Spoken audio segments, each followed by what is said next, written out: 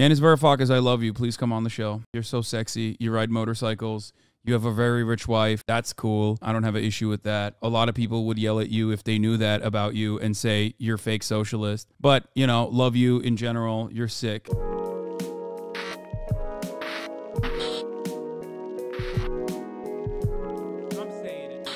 What is this? Well, the good news is that the left of center thinkers and writers haven't largely bitten or any other recent American misadventure abroad. yeah. Oh, I, I, I said, yeah, I saw this as well. Osita says, I've said this before and I'll say it again. A lot of foreign policy minds are eager for a war with China. They have access to the main organs of elite opinions in this country, and resisting them will be one of the most important causes of the century. It's done, though. It's so over. It, it's, it's so over. The paradox in the West, reputation is the weapon used by the powerful to remove anything challenging to capital, faux freedom of ideas. You can't say anything that has an effect on power. Yeah, but you don't understand. Everyone that is a heterodox thinker or someone that is actually straight away from uh, American foreign policy goals globally is always suspiciously a bad guy, always.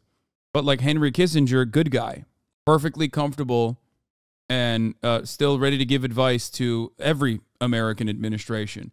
That's a good guy. His hands are bloody, okay? Uh, guy who has openly stated uh, his his uh, bloodthirst time and time again. That's a good guy. The other guys like Noam Chomsky or Parenti or any number of other uh, thinkers that are not uh, inside of that same uh, mentality. Well, they're all bad. They're all bad. They're all bad for one reason or another. You know, I saw someone call Yanis Varoufakis a tanky. Wait, someone sent me a clip of Yanis Varoufakis's uh, opinion on on Chinese loans, which I kind of want to talk about. But before that, I want to talk about are this. Are we liberals or are we not? Do we want? Do you really? Yanis Varoufakis, I love you. Please come on the show. You're so sexy. You ride motorcycles. You have a very rich wife. That's cool, in my opinion. I don't have an issue with that. Uh, a lot of people would yell at you if they knew that about you and say you're fucking fake socialist. Maybe a little bit too much of a you know a, a pan Euro, not supremacist, nowhere near as bad as Slavoj Žižek. But you know, love you in general. You're sick. You're fucking sick. You, you tell me. I mean, once upon a time, there were no passports. There the world was much a much better place. Oh, I've, I've literally watched Greece, this before. Where he died, or Lord Elgin. Are we? Look at how fucking charismatic he is. He's so hot. But also, are we not? Do we well, want? Do you really you, want borders? You tell me. I mean, once upon a time, there were no passports. The world was much a much better place. When Lord Byron went to Greece, where he died, or Lord Elgin for that matter, he didn't need a passport. What was wrong with that? I think borders are a sign of failure of the human species. It's very relevant right now because the UK is currently having a, a, lot of debate about immigration. You shouldn't be having this debate. It is a misanthropic, stupid debate. And you have a minister who should have been expelled from this country for having these ideas. I mean, she even challenged the United Nations Charter on Refugees. I mean, this he always says borders are a scar on our earth. This, this is this is. A, she suggested it might have been an outdated, idiot. an outdated legal mechanism to She's resolve that dangerous, problem. poor excuse of human nature. But That's the people who the people who are Be anxious, very ashamed of her. But the people who are anxious about this issue are the people you are trying to look after. Sure. There are people who. My job is not well, no, is not to pander to anxieties that are absolutely false consciousness examples. Look, Freddie, we Europeans exported hordes, hordes of people. We emigrated to the four corners of the universe, of the universe, of the planet. Huh? We populated the earth from Latin America to North America to Asia to Africa, millions, usually armed as well, right? As imperialists. Uh, we had no qualms about that for a thousand years. All that has happened is that we're getting old. Demographically, we are aging. So, you know, migratory flows have reversed. We need migrants. The more the merrier. Why do people worry about the Romanians living next door to them? It's because the flats have been privatized. They used to be council houses and now they are being privatized. And austerity, together with largesse for the finances through quantitative easing, has destroyed the foundation of the society, even if you didn't have a single foreigner. All this angst and the British would not have these considerations if uh, council homes and flats uh, were not allowed to be purchased wholesale, which immediately shrunk up the uh, available housing and uh, and and created a negative incentive to continue building more housing. As a matter of fact, just a thought. Uh, another neoliberal psychopathic, monstrous, pedophile defending freakazoid, Margaret Thatcher. Rage is being diverted, as in the mid war period, against the Jew, the Muslim, the Romanian, the Brit, the German, the foreigner. We must not tolerate that and we must never pander to that and say, oh, the solution is to erect taller fences. No. This guy had a great take on BRICS and why it's not challenging America. Wait, really? I, did, I have, have not, not heard that. Those people who you don't want to tolerate prefer I mean the politicians. I would. I'm talking about voters who, no, no, who no, might have who I, might have I ideas tolerate that you every don't like. voter. And Yanis is a pan-European future leftist bloc against U.S. financial power and influence kind of way. EU is a massive consumer population, which the EU doesn't utilize uh, to bargain because they're U.S. lackeys. Yes, the only criticism that I think is appropriate for Yanis Varoufakis, well, there's two. One, he's too much of a pan-Europeanist guy. Okay, so there is truth to that.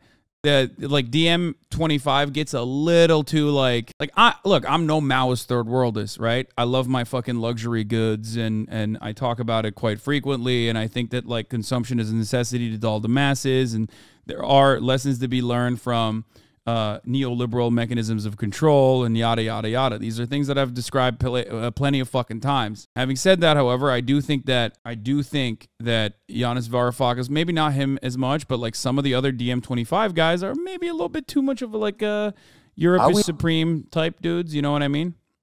With them, whereas oh, every voter, and okay. I respect every voter. Okay, but, but I engage in conversation with them, whereas Miss Braverman is trying to poison the soul of everyone for her own very narrow interests of political survival of a government that is nasty. Oh God, don't say that. Don't bring up because that that brings me to my second. That brings me to my second criticism of Yanis Varoufakis. And I don't know if I should actually tell you guys this. As a matter of fact, I probably won't. Never mind. Let's not worry about it. Do not Google what Yanis Varoufakis uh, did at Valve. Do not do that. If anybody fucking tells you that he worked at Valve, that's a lie. Valve and Yanis Varoufakis never worked together, and he certainly did not build the microtransaction uh, economy inside of uh, Valve when he was there. But it was a cooperative. It was a cooperative. I say he was too good of an economist. So yes, in some ways he in some ways he did participate in Valve never bringing out Half-Life 3 or any other games. And if you if you have an issue with Valve no longer making video games, but the Steam Deck is really good, I will suck and fuck Gaben all day. Steam Deck, excellent product. Love that shit, okay? I ride for it, I die for it. I talk about it all the time. See, they still make good stuff. Not not games, which they used to make really good games, but um, but maybe uh, you know the the maybe the the marketplace is uh, far too viable of a product, a, a revenue generator for Steam to focus on anything else. Maybe, just saying. Steam Deck amazing, going off 15 months with mine. Yeah. Evil and its life should be as, as short as possible. He likes crypto. Wait, what? No. What? Please don't say that. I, I haven't really kept up with Yanis Varoufakis for a very for some time, but I d- fucking doubt that he likes crypto. No shot. Former Valve economist calls Facebook's metaverse a Steam-like digital economy with Zuckerberg as his techno lord. Yanis Varoufakis also discussed pay to earn and the blockchain's long-term consequences. Okay, so you guys were just lying about former Greek minister uh, and and current sexy man uh, Yanis Varoufakis, fucking liars.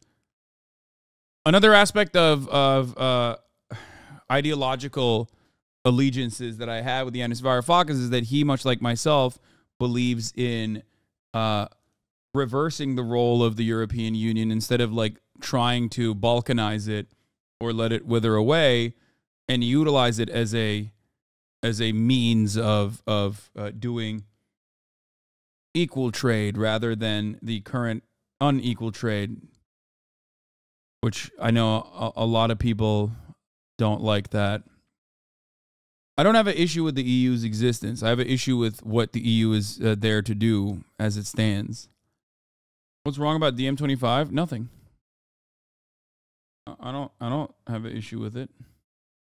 Um Where was oh here is Yanis Varoufakis talking about China. In Africa, they're they're lending money to countries to build ports and different infrastructure. To build what? Port. And what's wrong with that? And well, because countries that need ports get ports. But they're making people dependent on. I mean, I know it's the same thing that we've done. They're making people dependent on that good Chinese money. On, which is no, it's not. around the world. They are, they are far more humanistic than the United States ever was. really? Welcome to Candid Africa, truthful and unapologetic. I'm been very concerned lately about China. They are now all over Africa, you know, buying things and investing over there and getting those countries dependent on them and supporting, you know, non-democratic people. And I'm just like well, we come we are in a country that supports Saudi Arabia.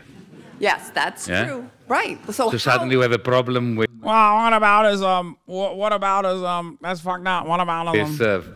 Uh, you know, superpowers supporting non-democratic people. yes, I mean yes, I do. You know, they're they're in Africa. Yeah, a note on autonomy or a note on democracy. Do you feel like you have any say in American governance? Technically, you vote right? You can vote for one party over the other, and they have some marginal differences. But do they ask you what to do? You know what I mean? Do you have any say whatsoever? So if you, as an American citizen who would much rather, let's say, not have this expansive, ever expanding military budget and instead would focus on, uh, you know, fixing America's infrastructure, uh, offering better uh, uh, training programs and integration programs for the oncoming migrants that are climate refugees, as well as refugees of America's fuckery in those nations.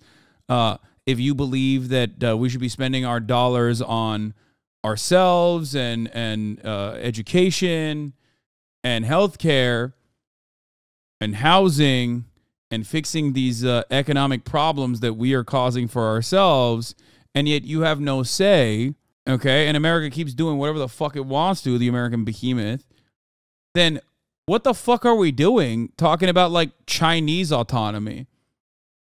Like, to me, that is an incredibly unself aware perspective to take. We're just yapping. It's the same principle behind like the the giving money to Ukraine and giving weapons to Ukraine. Everyone's like, oh, Sam, blah, blah, blah. You have this opinion, you have that opinion. It's like, bitch, you think you have a say in this process?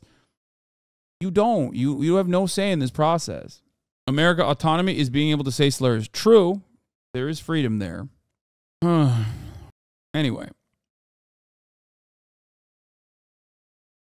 The reason why the BRICS Let's watch this. Uh, they're Let's they're lending money to countries to build ports and different infrastructure. To build what? Port. And what's wrong with that? And well, because countries that need ports get ports. But they're making uh, well, actually, Yanis, um, technically, when slavers came to Africa, in order to, and, and, colonizers came to Africa, they technically built railroads. They built the railroads in India. Is that okay? Is that, is that for the same principle? Huh? Huh? Huh? Wow, that's really fucked up. No, ports can be uh, uh, an act of colonial violence, as a matter of fact. Making people dependent on. I mean, I know it's the same thing that we've done, which is no, it's not around the world. They are they are far more humanistic than the United States ever was. Really? Okay. Absolutely. Great. So. Let me give, give you an okay. example. Of course, they're trying. They are peddling for in, for for influence. Yeah. Yeah. Uh, but they are non-interventionist. Absolutely non-interventionist in a way that Europeans, the West, has never managed to fathom. When it comes to the influence of China outside its borders. Yeah the criticism of Chinese development in Africa is always revol it always revolves around a hypothetical of like what if they behave like we did? And it's like okay if you're African if you're from an African nation okay and you saw violent colonialism and then also still violent uh, neo-colonialism in the form of economic imperialism and then the other guy's like here we'll give you like low interest loans and it's chill you know, do your thing. Like, yeah, you're probably going to be like, I don't know. I think I want it from these guys who are giving me better loan conditions and not trying to implement fucking uh, austerity measures. Like, why are you fucking worrying about it? That's why the the classic thing I hear all the time is what is it? When Europeans come, we get a lecture. When the Chinese come, we get a hospital.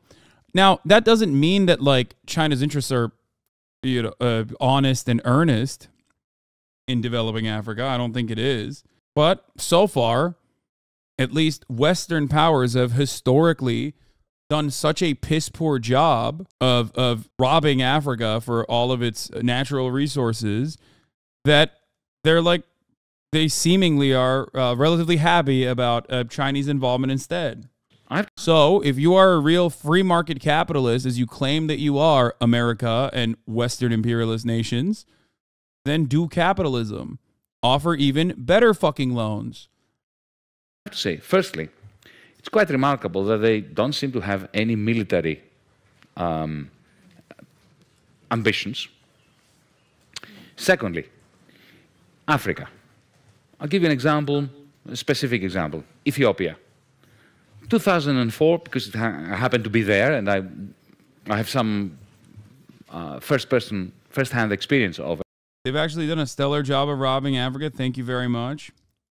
Again, is Western cope, man. Are you Chinese? Am I Chinese? Do the Chinese even have a fucking say in what the, the Chinese government does? Do you have a say in what the American government does?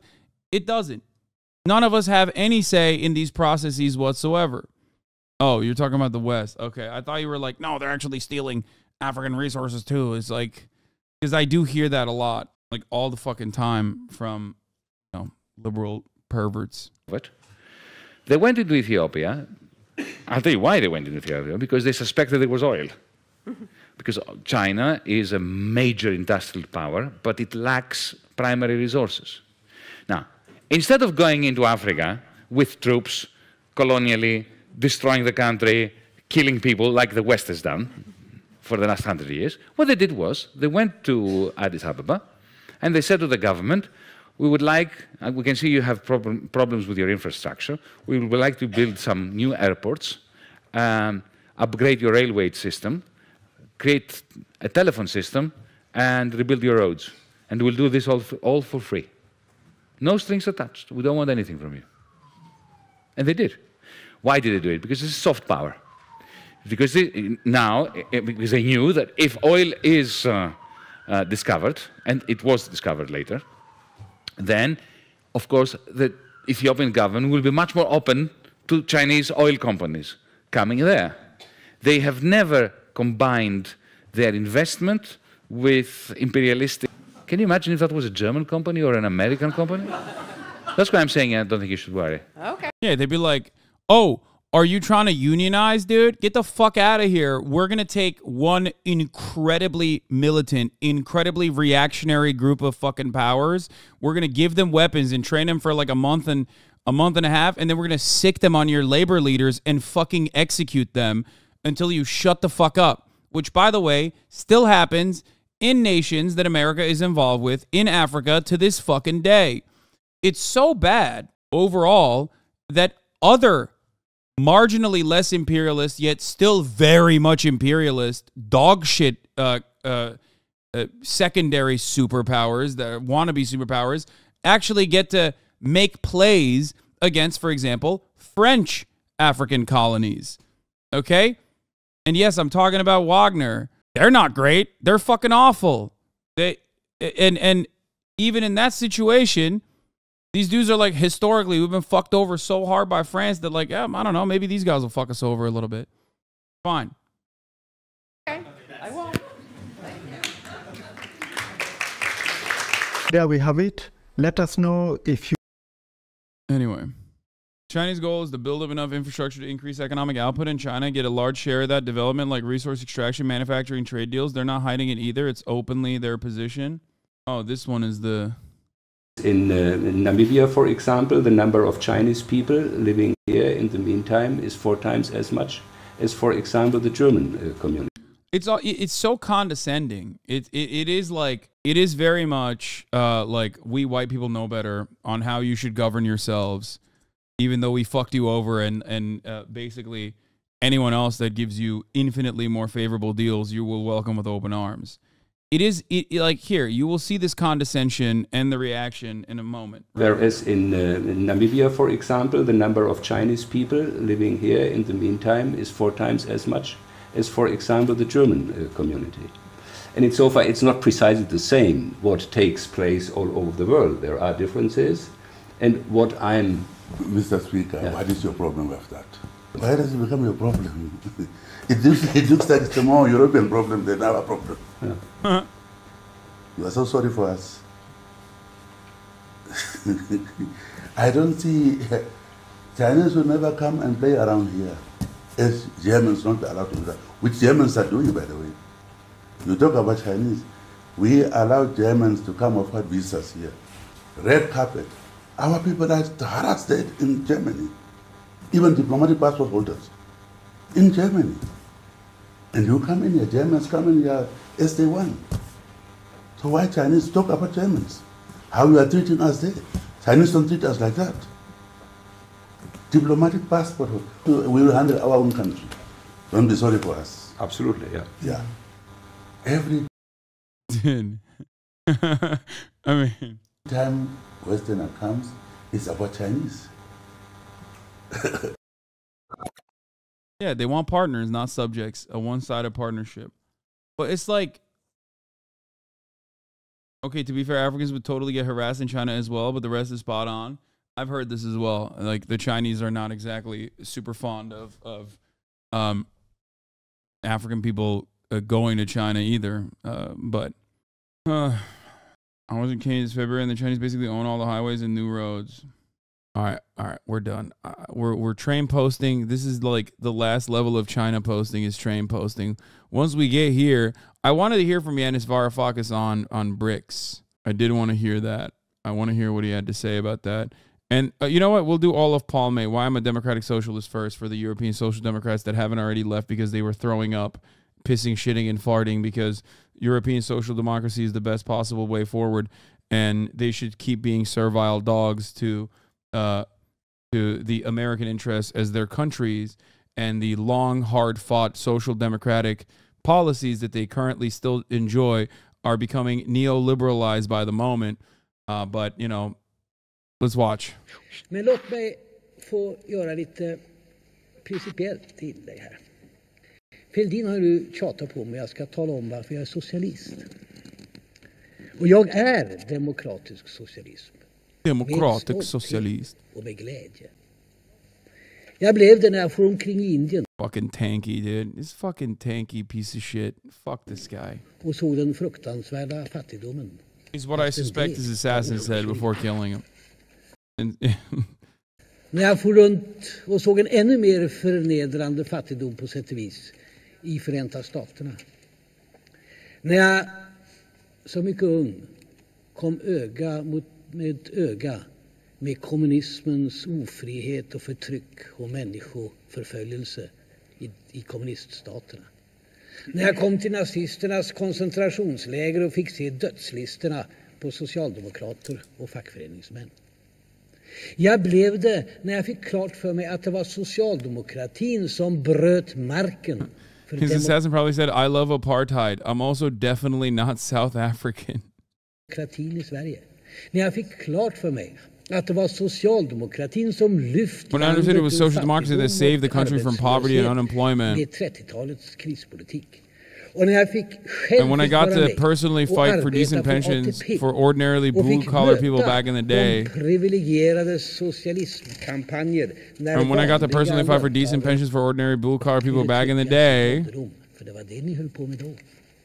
I became one, one from years of working with former Prime Minister Erlander, where I learned what democracy and humanism are, and with close friends like Willy Brandt, Bruno Kreisky, and Trygve Bratelli, who risked their lives for human dignity. But more importantly, my conviction grows stronger when I look at the world. When I see war, rearmament, mass unemployment, and class divides, my conviction grows stronger when I see growing unemployment, injustice, and financial speculation. tillta, spekulation och fiffel gripa kring sig. When I see right wing politics all over the world forcing people into unemployment, destroying social security, and still not solving the economic problems. And when I look into the future, the conservatives seem to offer where wage earners grow poorer and the wealthy grow richer, in which our safety nets is weakened and we have more luxury yachts, where solidarity is weaker and egotism stronger. Those who are strong enrich themselves, and the poor just have to cope with it. Certainly, I am a democratic socialist. I am proud of what this democratic socialism has accomplished in our country. I happily call myself a socialist because we have so many things left to deal with after all th- these years of right wing mismanagement. And I'm also confident because now our people know what happens to our jobs, our safety, and stability when you are allowed to govern. In a way, I'm amused because I know that modern Swedish history is full of reforms, which you call evil socialism, but then you fight to take credit for them when people actually experience them. Which, by the way, in America, we literally have like marginal, just a crumb of like expansion of the welfare state, which is exactly the same bullshit. Like even even in the Democratic Party, Everybody fights tooth and nail for any infrastructure spending.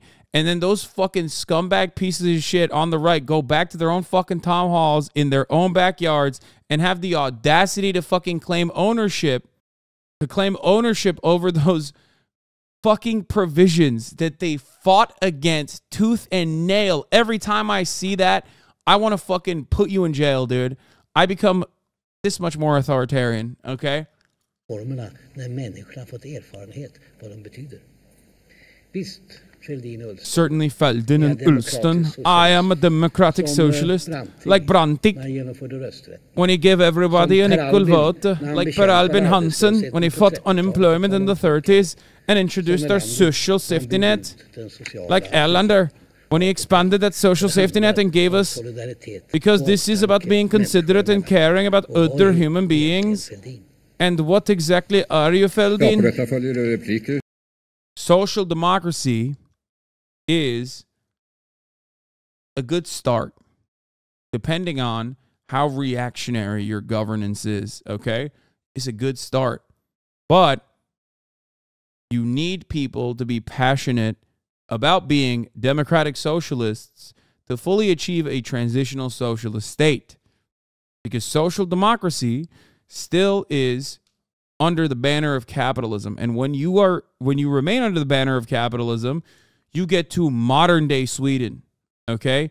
And modern day Sweden has clawed back and fought tooth and fucking nail for all of the gains made by people like him, by social democrats. Okay? They've they've eviscerated it year over year. And it doesn't happen. It doesn't happen overnight either. So it's a gradual process, a gradual process in which you don't even recognize that year over year, the government amenities that you are taking for granted are getting slowly but surely worse. How? By lowering taxes, by repu- refusing to pay for these initiatives, ultimately crippling it so much that you have no other way but to privatize it. I'm sorry, we just got to privatize it. We got to privatize it. And then it's gone. Okay? Because the fascist, the reactionary, the capitalist knows full well that people don't want to give away amenities that they have. That's why it's almost impossible to fucking eviscerate Social Security. Republicans have had a 30, 40, 50 year project in trying to dismantle it, and they haven't been able to because they recognize that people go, fuck you. I pay for this shit. I want it. I deserve it. This helps me survive. That's why the same goes for the NHS in the UK. But again, you get too comfortable under a social democracy, and they'll take that shit away. 12 years of austerity under Tory leadership in the UK, and look at how bad the NHS is. One day they will privatize it. Okay? First, they will starve it. Then they will say private enterprise can make up for the gaps in between. And before you know it, it's fucking gone. Government initiatives do not fail because they are burdened by big government or red tape or whatever the fuck these dumbass capitalists have been saying for years that, you know, somehow capitalist corporations are significantly more initiative. Uh, eh, eh, not initiative, sorry, significantly more proficient and and they eliminate uh, redundancies. Okay, they say that all the time. It's not true. It's not true. But they know that you don't want to give up on the goodies that the government has given you. Okay, more efficient. Yes, I said initiative.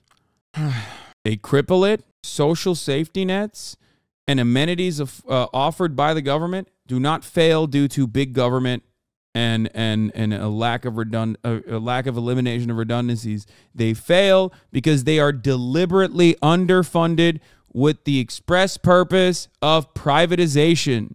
Okay? Ronald Reagan called it starving the beast. That's it. They starve it. They every year they chip away. Every fucking year they chip away piece by piece. And then before you know it, they're like, man, we just got to have private enterprise, fill in the stop gaps, fill in the fucking gaps here. Before you know it, it's gone. It's no longer accessible to you, and you have a structure that is similar to the American healthcare that we have here. Okay? Paywalled, unimaginably cruel. In the process, specifically in Sweden, they will point to refugees. They will point to this, they'll point to that. They don't have refugees, they'll point to homosexuality, indecency. You know what I mean? Whatever the fuck they consider to be the out group that is apt that you can propagandize against. That's what the reactionary does. If it's not the the uh, moral degeneracy, then they'll point to other countries. You should be afraid of other countries. They're coming for you. There's always a different enemy waiting in the corner in the shadows to fuck you over, right?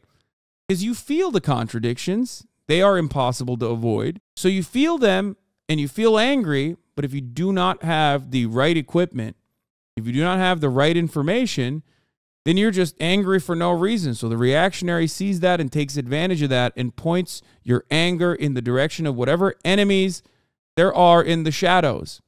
But the enemies are not in the shadows. The enemies are in the C suite. The enemies are sitting atop the corporate mountain. And the enemies are global. They're in every country. They're your neighbors. And they don't have to be enemies, really. They don't have to be your enemies. Okay?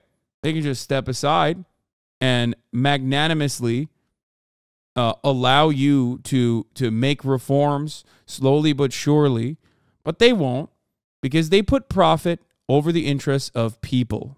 Okay? That's it. No, they're not fucking globalists, man. What the hell are you talking about? Jesus Christ. Motherfucker's manager or his boss in his small business is like, Yeah, I don't care that your mom died. You can't go to her funeral.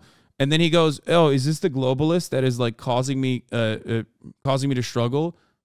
it's like, no, man, it's right there. He's right there in front of you. Like, what are you talking about? Fucking globalist, dog. How about you worry about your own goddamn life? Republicans ruined any theory that sounds like a conspiracy.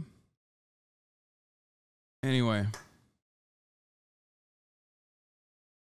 My enemies are people that lie about gaming happening, wrap it up, and get to cyberpunk. Okay, I'll do it. Okay, I want to hear. I want to hear about uh Yanis Varoufakis talking about BRICS. are not going to be significant. It's the last um, threat to the dollar. It's because Russian capitalists, Chinese capitalists, Indian capitalists, Indonesian capitalists, United Arab Emirates capitalists. They do not want to see the dollar being displaced by any currency, digital, crypto, or normal. He's right. They want the dollar to remain completely and utterly dominant because their loot, their wealth is in dollars and it lives in the United States financial system. Who came up with the acronym BRICS? A guy called O'Neill, Jim O'Neill. What was Jim O'Neill? The chief economist of Goldman Sachs. He came up with the idea of the BRICS. He was making the point that if you are investing money, you, you forget about the West, You should invest it in countries like Brazil, in Russia, in China. And in order to make it snazzy, to give it a marketing edge, I asked him why why did why did you put South Africa in there, the S of BRICS? Once I met Jim O'Neill. Do you know what he said to me? Because brick, one brick didn't sound good, and I wanted an S. So he added South Africa in there. So this is the degree of Anglo European American dominance. All the developing world is looking at the BRICS as their savior, and the BRICS is an acronym concocted by the chief economist of Goldman Sachs, right? Now, it's not insignificant. It's not insignificant because an increasing amount of international trade is not going to be in dollars. And I think the most interesting event of the last weeks is when we heard that Argentina. That's why I always laugh on like leftists on the the fucking you know anti-imperialist leftists on Twitter are like the BRICS is rising up. I'm like, dude, none of these nations are the every single member state in BRICS is literally more connected to the fucking dollar than they are connected ideologically. Like there is no coalition there. You know what I mean? They they don't have the same fucking worldview or opinions. They're just trying to leverage, trying to hedge their bets. It paid a few billion dollars that it owed to the International Monetary Fund using Chinese yuan. If you couple that with the news that uh, the new development bank which is the BRICS Bank, where Dilma is the president, the former Brazilian president, is going to be lending in local currencies.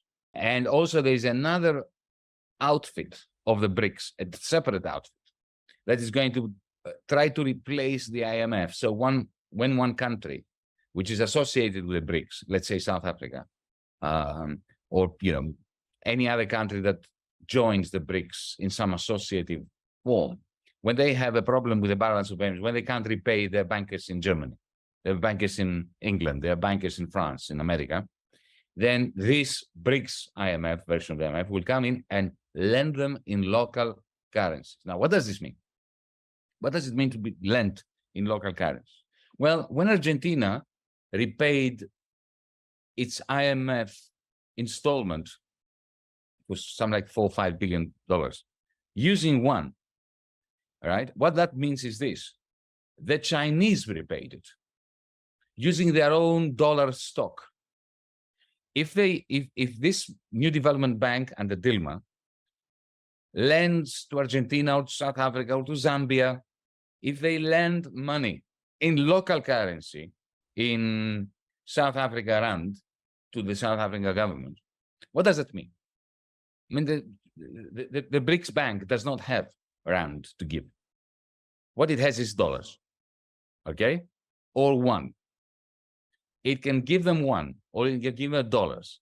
Now, for that loan to South Africa to be useful to South Africa, the South Africans, the South, South African man, uh, government that takes on this loan must be able to buy stuff from America, from Europe, from India. They will have to pay in dollars.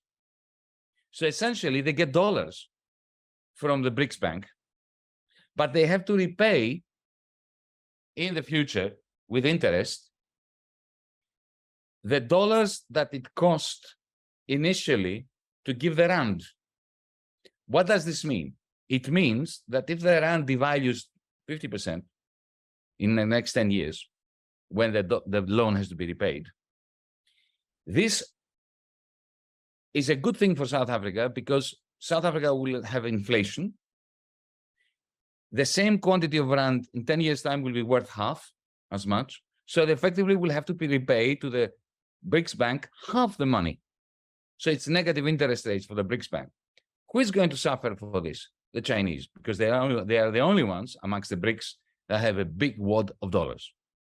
So essentially, the BRICS Bank means that the Chinese are using their stock of dollars in order to lend the countries that take loans from the BRICS Bank and take on itself, Beijing will take on its shoulders the devaluation risk, which now, when an African country borrows, uh, the devaluation risk is its own. It will have to, to pay for it. Now, why would the Chinese do that? Well, one reason is because they have too many dollars. In the sense that, you know, because they have a very large current account surplus, they keep eh, with every lump of aluminum or car or whatever it is that they or clothes that they sell to the Americans or to the Europeans, they get dollars back. Right? What do they do with these dollars? They have to take them to Wall Street. Now they've seen what happened after the Ukraine war. That the central bank of the United States, the Fed, confiscated 350 billion Russian dollars. So they think, oh, they, they may do this to, to, to us we might as well use our dollars through the BRICS network to gain more influence over South Africa, over Saudi Arabia. So they are socializing amongst the third world, what we used to call the third world, huh? their dollar holdings. So the BRICS is China. Let's not be, let's not beat about the bush here.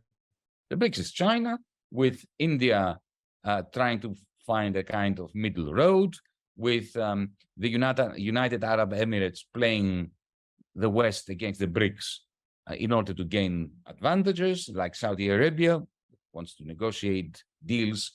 They don't want to get out of the dollar zone, but they want to enhance their relationship with, with China, with the BRICS, in order to leverage their own bargaining with uh, the United States. This is all very interesting. But leftists, I, I'm really appalled leftists have a tendency to look at the BRICS and say, oh, this, you know, we we are orphans. We in the left are since 1991, when the Soviet Union collapsed, we've been orphaned. We've been looking at a large power internationally that will look after us, that we will be able to dream that they are our people, that they will defeat the capitalist mammoth, right? Don't make this mistake. That's not what the BRICS is. It's significant. I explained why it is significant, but it is not are super happy about BRICS. Yes, they misunderstand it and think that like BRICS will be able to de-dollarize or something, or, or we'll be able to put up a competitive currency. But as I've said already, that it's like that's not a real prospect at all, considering that all trade is is conducted on the dollar, pretty much. The new Communist International, the new socialist. It's it's specifically uh, hedging your bets that's it. Building new developments uh, or, or building new relationships and hedging your bets against America with another trade partner that uh, is is offering better uh, is offering better terms.